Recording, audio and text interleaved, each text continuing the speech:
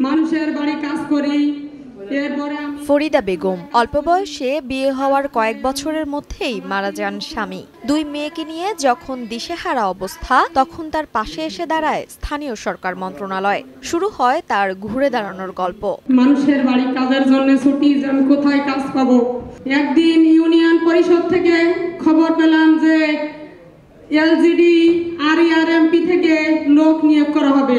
শুধু ফরিদা বেগমই নন, এরকম আরও অনেক নারীর দুর্দিনের সাথী হয়েছে এলজিইডি। আন্তর্জাতিক নারী দিবসে সমাজের বিভিন্ন পর্যায়ে লড়াই করে স্বাবলম্বী হওয়া এমন নয়জন নারীর হাতে শ্রেষ্ঠ আত্মনির্ভরশীল নারী পুরস্কার তুলে দেন স্থানীয় সরকার মন্ত্রী। প্রতিকূলতার বিরুদ্ধে লড়ে জয়ী হওয়া নারীরা এমন স্বীকৃতি পেয়ে আবেগে আপ্লুত।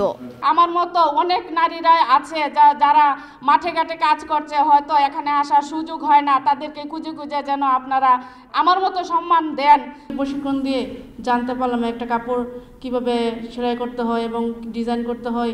এবং এই কাপড়ের মান ওইগুলো আমি জানতে পারি। অনুষ্ঠানে প্রধান অতিথির বক্তব্যে স্থানীয় সরকার মন্ত্রী বলেন সকল বাধা পেরিয়ে এগিয়ে যেতে হবে নারীদের। এবং মেয়েরা কিন্তু ভালো কাজ করছে। এখানে সেখানে দেখা গেছে একজন পুরুষকে যখন কাজ দেওয়া হয়েছে আর একজন নারীকে দেওয়া হয়েছে দুইটার স্টাডি রিপোর্টে দেখা গেল যে নারীটা অনেক ভালো প্রোডাক্টিভিটি দিচ্ছে।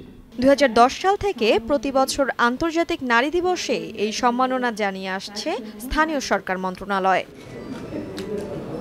তানজিলা খান মিম সময় সংবাদ ঢাকা।